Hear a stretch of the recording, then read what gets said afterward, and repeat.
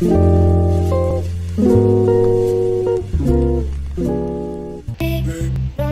guys, welcome back to Mommy Sam Life and today we're going to be going to platform 909 here in Chino Hills, California. It's Harry Potter themed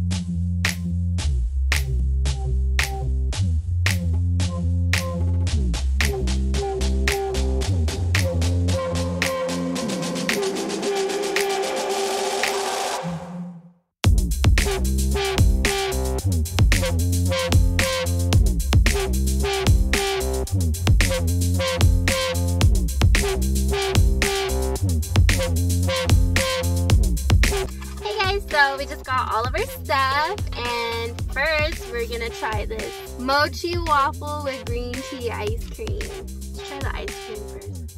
Oh, if you can really taste the green tea, huh? So it has a lot of fruit in it, but it's literally a waffle waffle. It's a bit crispy, but I actually really like it. You can see the mochi over there. It's actually pretty good. I feel like it could be a little bit more sweeter, but it's not. It's not too sweet. Eight out of ten. But it- it's good. So there's like blueberries, strawberries, bananas, and the ice cream and some powdered sugar on it, and a lot of uh, chocolate syrup. It's pretty. So next is this rainbow crepe cake.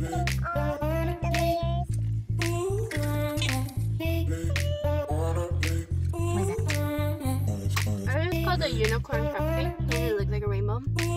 Tastes like buttercream. I don't know. Yeah, no. I don't know, it tastes a little weird, but it tastes fine.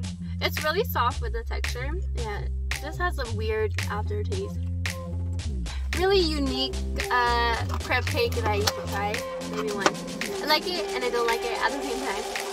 S'mores latte. Ice mocha with some chocolate and toasted marshmallow.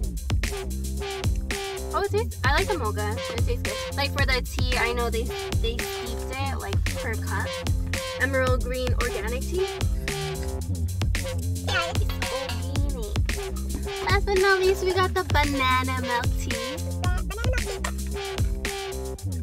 Oh, and it's green tea. Oh, and you can really taste the banana. I, I actually like it. You know the Korean banana milk? Yes.